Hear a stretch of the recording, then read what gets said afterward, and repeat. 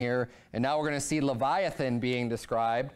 And you want to talk about a fire-breathing dragon, we see this described perfectly in Leviathan in Job chapter 41. Look at verse number 1. The Bible reads, Canst thou draw out Leviathan with an hook? So right away we're seeing this is referring to a creature that at least spends some time in the sea.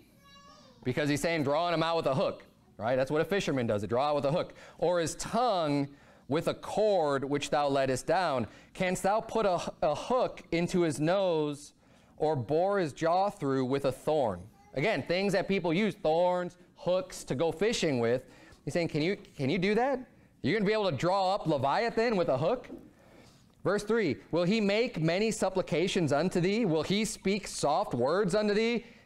Basically saying, you are not the master of Leviathan, right? You can't, he's not going to speak softly unto you because he's scared of you. Verse 4, Will he make a covenant with thee? Wilt thou take him for a servant forever? Wilt thou play with him as with a bird, or wilt thou bind him for thy maidens? Basically, again, you can't, you're not going to domesticate this beast that is being referred to here, Leviathan. Verse number 6, Shall the companions make a banquet of him? Shall they part him among the merchants? Canst thou fill his skin with barbed irons or his head with fish spears. So now this is talking about, you know, when you kill an animal in sport and you fill his skin with barbed irons, right? You, you, you do like a taxidermy on him and you, and you recreate the animal after you've killed him and, and you set him back up again.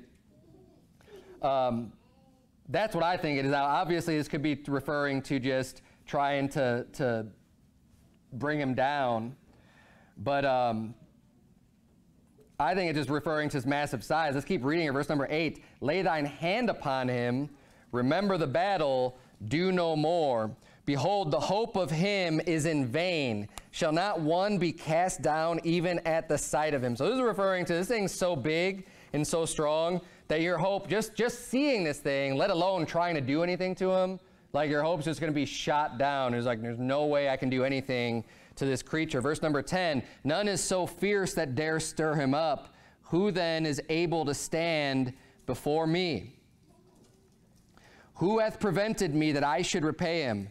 Whatsoever is under the whole heaven is mine. So this is now God referring to, you know, well, this creature is so fierce, none's going to stir him up. Says, who's going to stand before me? Because God's the one who made this creature, right? So he's like, you know, who, who prevents me and who should I repay?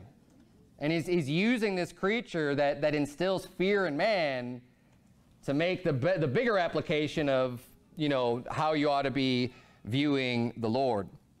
Verse 12, I will not conceal his parts, nor his power, nor his comely proportion. Who can discover the face of his garment, or who can come to him with his double bridle? Who can open the doors of his face? His teeth are terrible round about. His scales are his pride. So again, now this is referring to a beast.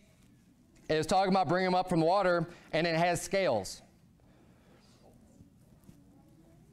And his scales are so close together, it says they're shut up together as with a close seal, like they're airtight. It's like an armor.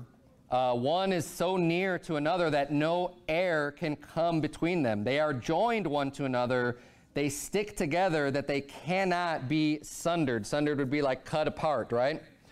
Verse 18, by his neesings a light doth shine, and his eyes are like the eyelids of the morning. So this is given some pretty good detail to this creature Leviathan. So by his neesings, so you think about this is going to be, it's kind of like a sneeze or something coming out of his mouth, a light doth shine light coming out of his mouth or out of his nose maybe. And his eyes are like the eyelids of the morning so this this bird like an orange probably yellow orange eyeballs. And then verse 19 out of his mouth go burning lamps and sparks of fire leap out. This is talking about a fire breathing dragon I mean it's literally what this is describing the purpose of describing this beast, again, is to show the great power of God. But the amount of detail, why would the Bible, why would God spend so much time going into detail about a creature that doesn't really exist? About something that's just myth. and trying to relate how people are so scared of that, but you ought to be scared of me. Like, be scared of what? Scared of, of, of a non existent creature? Oh, yeah, I'm real scared. I'm real scared of these creatures that don't even exist, so why would I even be scared of God? It doesn't make any sense.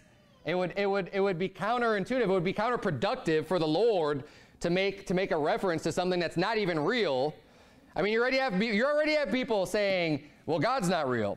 Why should I fear him? Just like I don't have to fear this, this dragon, this fire that's not real. Look, it is real. It's a real creature being described here. And it's talking about fire going out of his mouth.